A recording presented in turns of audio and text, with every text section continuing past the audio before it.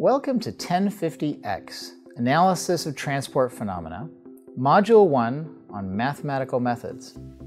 My name is Martin Bazant, Professor of Chemical Engineering and Mathematics at MIT, and I'll be your guide through an experiment in digital learning to teach graduate level engineering with advanced mathematics in a massive open online course.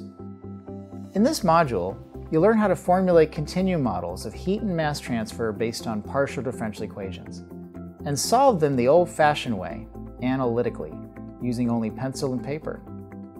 Since many problems are too difficult to solve exactly, you will also learn the art of approximation, how to simplify a model enough to obtain an analytical solution while still capturing the key physics. Even in the age of computers, such solutions play a crucial role in the design of engineering systems and our understanding of their operating principles. For example, consider the design of lithium metal batteries, which could enhance the driving range and power of electric vehicles, if only they could be designed for safe recharging and long cycle life.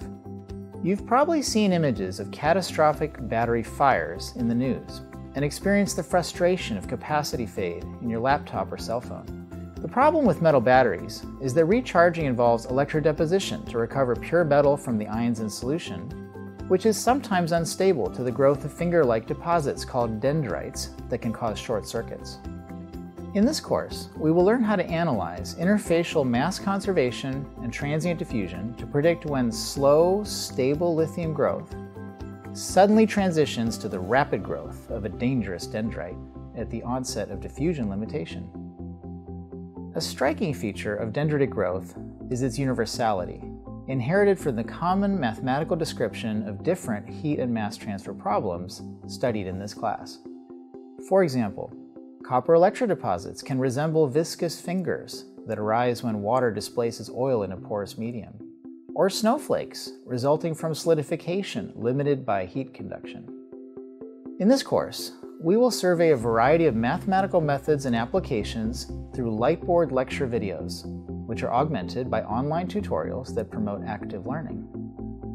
At MIT, 1050 is a challenging rite of passage for all first-year PhD students in chemical engineering, and it also attracts students from other science and engineering departments. If you have some familiarity with multivariable calculus and ordinary differential equations, we encourage you to give this course a try Previous exposure to the principles of heat and mass transfer and fluid mechanics is helpful, but not required. If you're ready to work hard, we'll teach you everything you need to know to begin analyzing transport phenomena.